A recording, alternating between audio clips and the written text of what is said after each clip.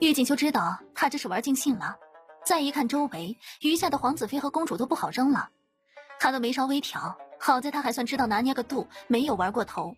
他身形一动，直接跃到了宁妙薇的身边，长臂一梳，就将她挥进怀里。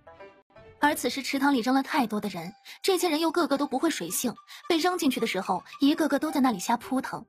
池塘里的水本不是太深，更多的都是淤泥，这么一扑腾，那水直接就变成了黑色，一股臭味涌了出来。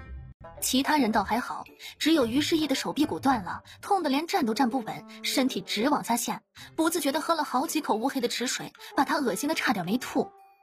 玉锦秋抱着宁妙薇，冷冷的扫了于世义一眼。四弟妹明知道妙薇闻不得香，却还燃香引她犯病，然后还拿刀欲杀她，这事怕是得给本王一个说法。他说完冷哼一声，抱着宁妙薇就走。他这话算是总结，意思也很明了。其他的几位皇子妃和公主此时也都回过神来，怪不得于世义今天亲自去接宁妙薇，原本就是有所图啊。只是于世义今天却是一点便宜都没占到，反而还吃了大亏。之前所有人都说玉锦秋不喜欢宁妙薇，现在看来那些传言根本就是假的。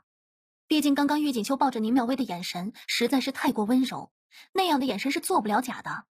一时之间，众人心中生出了很多猜测。双儿和菊儿齐齐跟上，两人互换了一个眼神。这估计是于世义过得最有意义的一个生辰宴了。于世义真是不长眼，算计谁不好，偏偏算计他们家王妃。玉锦绣抱着宁妙薇走到前院的时候，恰好遇到了闻讯赶来的四皇子。四皇子看了一眼他怀里的宁妙薇，就知道于世义今天又失败了。他在心里骂他是个蠢货，可是他面上却还是做出关切的表情。三哥，三嫂这是怎么了？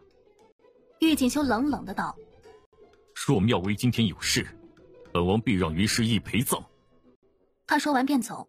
四皇子眉头拧成一团，他此时还不知道到底发生了什么事儿。